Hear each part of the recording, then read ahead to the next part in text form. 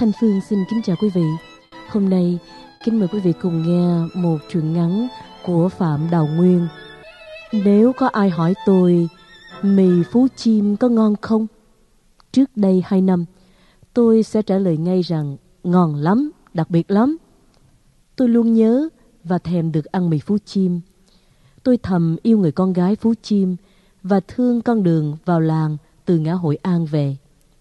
Hai bên đường rợp bóng mát ra xanh, mì phú chim còn có câu chuyện bên lề để tôi thương, để nhớ, vu vơ và để băn khoăn một thời trẻ dại. Chuyện bắt đầu từ ngày xưa ngày xưa, cái thời đất nước tôi bình yên vào khoảng năm 68, thời son vàng tuổi trẻ. Thổi đó 17-18 tuổi, hàng tuần trên đường đạp xe đi học về là tôi ghé Phú Chim ăn mì. Rồi ngày Chủ nhật đi học lại, tôi cũng không quên ghé thăm quán mì một lần nữa. Mì Phú Chim ngon hay dở, tôi không cần biết. Nhưng một điều tôi biết rất rõ là ở đó có cái gì đã lưu luyến bước chân tôi. Mì Phú Chim là một quán mì rất nhỏ, nằm ngay trên con đường làng từ cống đá băng qua cầu lâu. Mì đặc sản khá nổi tiếng với tôi ở vùng quê thuộc tỉnh Quảng Nam. Bắt đầu câu chuyện là một hôm trên đường về, rẽ từ cống đá vào Phú Chi một đoạn. Tôi bắt kịp một người bạn đồng hành, con gái. Khi hỏi chuyện, cô bé vui vẻ và chúng tôi làm bạn trên đoạn đường ngắn, rất vui. Đường vào làng, hai hàng tre xanh che mắt rượi lối đi. Nếu dừng xe đứng hóng gió, thì đây là chốn bồng lai. Những căn nhà ven đường cây trái xanh tươi, khoe sắc thoảng hương. Phú chim rất đẹp trong mắt tôi, toàn một màu xanh tươi mát của cây trái. Chúng tôi trò chuyện về ngôi làng trù phú này. Tôi biết nàng tên Thu. Thu hỏi tôi, anh đã ăn mì phú chim chưa? Mì phú chim nổi tiếng là ngon đó. À, có, mì phú chim ngon lắm. Tôi có dịp nói dốc vì ở Hội An thường đạp xe đi Cẩm Châu hay lên Cẩm Hà ăn mì. Ai đi Phú Chim làm gì cho xa. Nhưng lời nói dốc nên nói luôn. Anh đã vô quán bên trường tiểu học PC chưa? À, chưa, à, ngon không Thu? Thu biết quán đó hả? Vậy thì anh vô ăn thử một lần cho biết đi. À, học trò chiều thứ bảy là sạch túi rồi, có tiền đâu mà ăn mì. Chiều chủ nhật mới có tiền lận. Nói chơi vậy chứ hôm nay còn tiền đủ cho hai tô.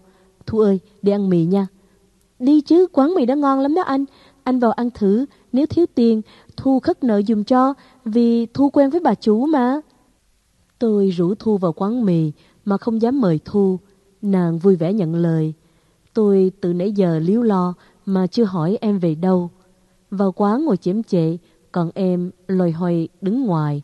Tôi thấy nàng dựng xe và vòng ra phía sau, nên nghĩ rằng Thu đi đâu đó, nên yên trí chờ và kêu hai tô mì sẵn sàng ngồi đợi. Mấy phút sau tôi thấy một cô em dáng dấp giống Thu như đúc, hồn nhiên trong bộ đồ bông màu hồng phản chiếu nước da học trò, tươi mát dễ thương làm sao. Tay em vất vất mấy sợi tóc ra phía sau rồi cột lại. Tôi liên tưởng tới mấy câu thơ, một thương tóc bỏ đuôi gà, hai thương... Nàng ung dung đến bưng mì ra cho tôi. Nàng giới thiệu cho tôi biết là má nàng làm chủ. Cô bé vui vẻ nói rằng tôi hôm nay là khách của chị Thu. Em lếu láo hồn nhiên đã làm tôi ngẩn ngơ. Tôi không biết ai là Thu và ai là người ngồi đây với tôi nữa. Em là Thu lúc nãy hay là em gái của Thu vậy? em là em gái. Chị Thu đi có chuyện rồi. Chỉ dặn em tiếp anh. Em là Thư. Anh có mời em ăn mì không nè? À, à mời chứ. Mà bộ anh không nhận ra em hả? Tôi ngẩn ngơ. Từ đó tôi đến đây như thường lệ, khi đi cũng như lúc về, hàng tuần hai lần như một khách thân quen, vì ở đó có em. Thật tâm nàng là Thu hay Thư cũng vậy, nhưng sau này tôi biết nhà này chỉ có một nàng Thu. Rồi một hôm, trên đường đạp xe về, trong đầu tôi miên man tưởng tới đây là sẽ được gặp em. Thấy quán vắng, tôi dừng lại bên xe nước ven đường hỏi thăm. Ủa, à, quán mì bữa nay sao đóng cửa không bán vậy? Thằng bé vọt miệng trả lời. Cuối tuần này có đám cưới mà. Cưới ai? Ai cưới? Thì đám cưới chị Thu á, à, chú rể là lính, ảnh ờ, đóng ở cầu kìa. Tôi cảm thấy rã rời, lòng buồn vô hạn khi nghe tin em đi lấy chồng. Em lặng lẽ đi lấy chồng và tôi chưa một lần dám nói. Tôi ngồi yên trên xe đạp, chống một chân dưới đất, quay mặt nhìn chiếc xa nước đang nặng nề ị ạch, mang nước đổ vào mương, chảy băng qua con đường làng to lớn, mà trong lòng biết bao tiếc nhớ vu vơ. Hình như trong tôi bây giờ, trái tim cũng nặng trĩu như nhịp quay chậm chạp của chiếc xe nước kia. Nhìn bánh xe nước xoay nặng nề cực nhọc. Bên nhánh sông Câu Lâu chảy rã ngã về Hội An, mà lòng buồn vu vơ. Tại sao mình không nói? Tại sao mình chưa nói? Tôi hỏi tôi hàng ngàn lần, hàng vạn lần. Tại sao? Nhưng lắm lúc tôi cho là may mắn, vì may mà chưa nói, biết đâu tốt hơn. Nếu nói ra nàng từ chối, thì còn gì buồn hơn. Tôi không biết như vậy là tốt hơn không? Tôi chưa một lần dám nói yêu em. Thế thì biết trách ai bây giờ? Từ đó, mì Phú Chim đi vào kỷ niệm của riêng tôi, một thời khó quên. Mỗi lần ăn mì, tôi nhớ tới nàng, nhớ ngày xưa ấy, mỗi lần ghé quán gặp Thu, thì tô mì của tôi có thêm món gì đó đặc biệt hơn những tô mì của người khác. Có lý nào nàng lại không thương tôi? Tôi lập luận như vậy và hy vọng ở ngày mai. Tôi đã âm thầm nhớ rồi âm thầm quên. Nửa tháng sau, quán mì mở cửa trở lại mà người xưa không còn. Tôi vẫn ghé quán và hỏi thăm tin nàng. Nàng xin dạy tiểu học, chồng là sĩ quan. Tôi im lặng, gói kỹ chút tình mình bằng chiếc áo dạ đơn phương. Tôi thương nàng và nhớ mì phú chim tha thiết. Rồi thời gian qua đi, kỷ niệm cũng đã nhạt nhòa. Mỗi khi cơn buồn ngoài đời kéo đến cho tôi, thỉnh thoảng tôi nhớ em. Em là một huyền thoại trong tôi, để nhớ để thương, chứ không để ghét. Không phải tôi muốn nhớ, nhưng từ những ngoại cảnh đưa tới với hoàn cảnh xã hội, tôi lại thì thầm. Qua bến, nước xưa, lá hoa về chiều. Khi đến cuối thôn, chân bước không hồn. Nhớ sao là nhớ bóng người ngày thơ. Tôi ngẩn ngơ một thời, rồi cũng tạm quên đi quá khứ. Thời gian là liều thuốc nhiệm màu. Con người, ai cũng có quá khứ để nhớ, để trang trọng. Thế thôi. Lắm lúc con tim đi hoang, nhớ sao là nhớ bóng người ngày thơ. Có lẽ như vậy là đẹp hơn vì nàng vẫn luôn là thần tượng trong trái tim đơn sư học trò của tôi thổi nào. Năm 75, tôi theo đơn vị bỏ xứ ra đi. Dòng đời trôi, tôi lập gia đình như bao nhiêu người con trai khác. Nhiều khi gửi thư về quê thăm bạn bè gia đình, cũng có hỏi han tin nàng. Nhưng ai mà có thì giờ để tìm em cho mình đâu. Thì thôi, đời chia hai lối rẽ. Gia đình tôi cũng như gia đình khác, làm lụng đủ ăn sinh con đẻ cái. Ba đứa con từ từ ra đời, gia đình thêm gánh nặng. Cả hai vợ chồng ký hiệp định đình chiến, sự bất quá tam. Đứa thứ ba năm tuổi, vợ tôi bắt đầu đi làm bán thời gian và rồi toàn thời gian. Dư giả chút đỉnh, tôi gửi về giúp ba mẹ anh em. Gia đình bên vợ ở Mỹ hết nên không tốn kém gì. Còn ở Việt Nam chỉ có thân nhân của tôi. Thư bên nhà không người này đau thì người kia ốm. Hình như liên tục làm gia đình tôi lục đục. Mẹ cha tôi lần lượt đã qua đời. Đến đây, vợ chồng tôi bực nhau vì chuyện Việt Nam, đưa đến chỗ ly thân. Tôi tình nguyện ra đi với hai bàn tay trắng, cho gia đình không căng thẳng. Tôi mướn một căn chung cư sống một mình, đi làm dư giả thì gửi về giúp gia đình cho thoải mái. Sau 6 tháng ra riêng, vợ tôi không may bệnh qua đời. Tôi tự trách mình vì không gần gũi chăm sóc nàng trong những ngày cuối đời. Hai con lớn tôi đã ra trường và có chuyện làm, chỉ còn thằng út còn học trung học. Số tiền bảo hiểm nhân thọ và tai nạn của mẹ nó được để lại cho ba đứa con và tôi giao hẳn nhà cửa cho tụi nó tự lo lấy. Tôi vẫn sống đơn độc một mình trong căn chung cư, thỉnh thoảng tới thăm con và tụi nó thỉnh thoảng tới tiệm thăm tôi. Ba năm sau ngày vợ chết, tôi rủ thằng út về Việt Nam chơi. Lúc đầu nó đồng ý, nhưng sau lại thôi. Lần này tôi về và tới thăm người bạn cũ, tình cờ biết được tin nàng. Nàng bây giờ đời sống vất vả nhưng tạm đủ, chồng đi tù về, hai năm sau bị bệnh chết nên không được đi HO. Một mình nuôi con cũng khó khăn, hai đứa có gia đình, còn một đứa út sinh sau ngày anh ta đi tù về. Tôi rảnh tay rảnh chân, nhờ người bạn hỏi nàng có muốn đi Mỹ hay không. Chúng tôi gặp nhau và nói chuyện. Cuối cùng, nàng bằng lòng theo đề nghị của tôi. Bây giờ, tôi thương nàng nhiều hơn là tình yêu thời mới lớn. Sau một tháng thăm quê, tôi trở lại Mỹ và nhiều lần thư từ cho nhau. Tôi làm hồ sơ bảo lãnh nàng. Tôi ở lứa tuổi lục tuần, già rồi, còn gì mà mong. Nhưng giúp được một người bạn, thì tại sao mình vị kỹ không làm? Hơn thế nữa, người ấy lại là người mà mình một lần thương nhớ.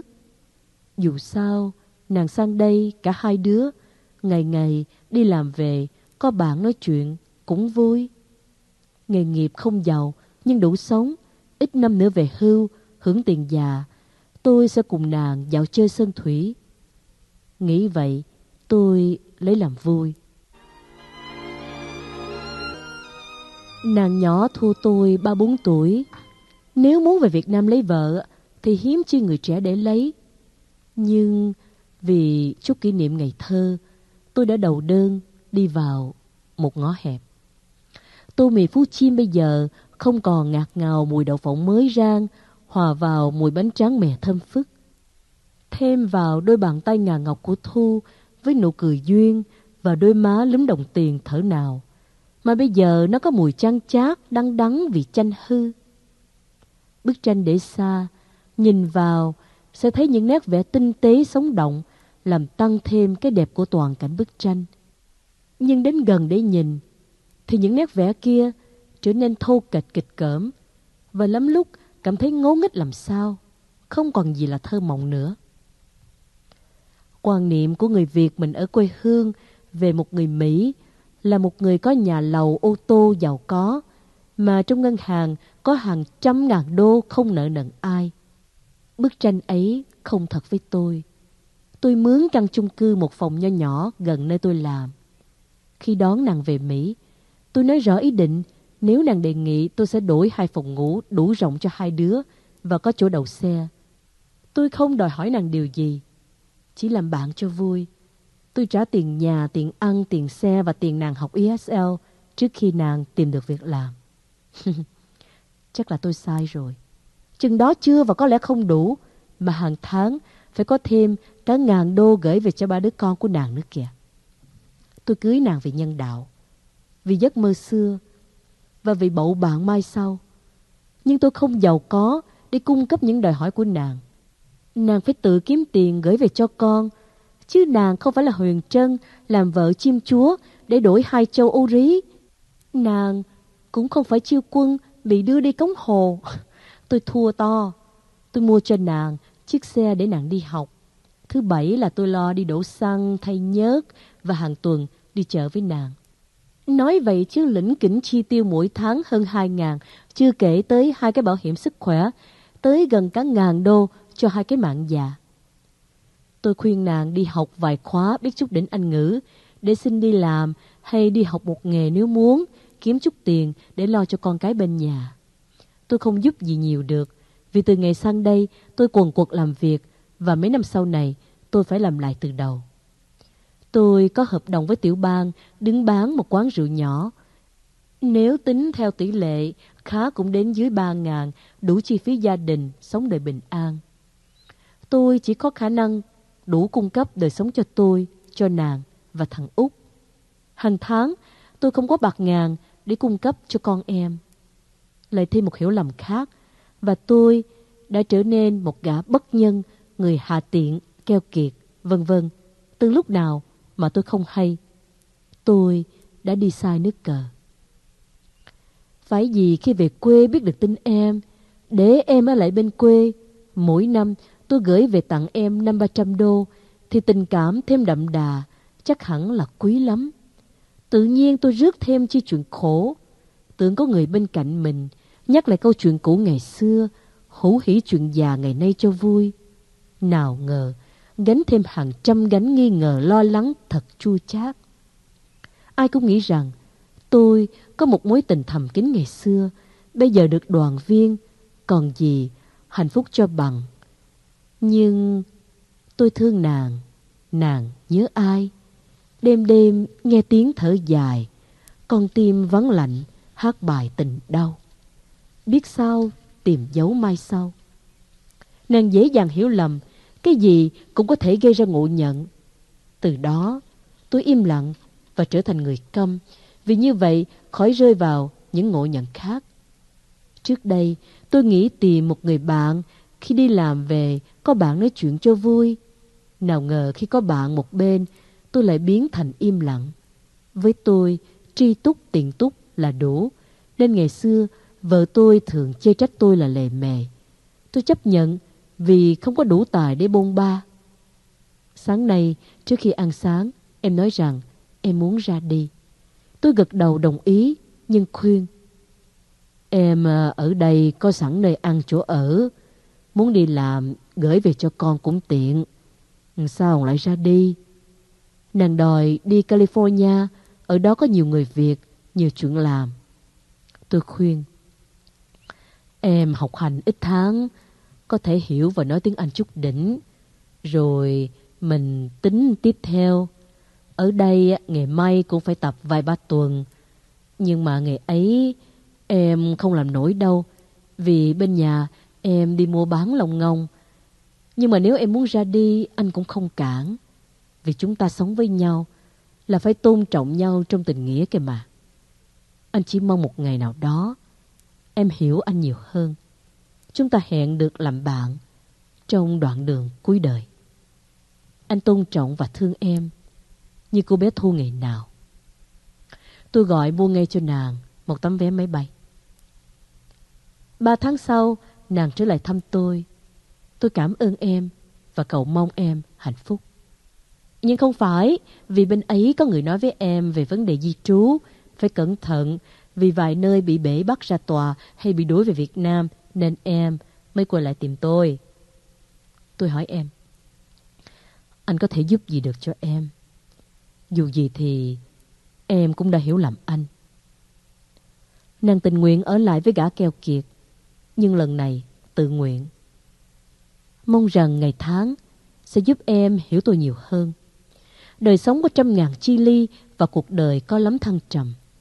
Cái giàu hôm nay chưa hẳn sẽ mãi mãi là giàu sang và người nghèo hôm nay cũng không chắc họ nghèo suốt đời. Tôi không từ chối đề nghị của em. Em kể rằng mấy người về Việt Nam mang vài mấy chục ngàn để cưới vợ hoặc cho con. Sao anh không có? Anh không có, nên không cưới được vợ như họ. Họ có nhiều tiền vì họ có tài nên giàu. Tôi mong rằng thời gian sẽ giúp em hiểu rõ về nước Mỹ, người Mỹ và đời sống ở Mỹ. Rồi một hôm em cởi mở hơn kể cho tôi nghe câu chuyện của vài người. Thì ra, bây giờ em hiểu được rằng những ông đem tiền về Việt Nam thật nhiều. Đó là tiền nhờ những tiểu xảo hay mánh mung mà kiếm được. Hy vọng ngày mai trời sẽ sáng và em sẽ hiểu tôi nhiều hơn. Tôi bây giờ xin tịnh khẩu và hứa sẽ không bao giờ vọng ngôn. Như vậy, em có dịp sẽ nói nhiều và cởi mở hơn với những gì em muốn nói. Kính thưa quý vị, vừa rồi là truyện ngắn Thanh Phương xin kính chào tạm biệt.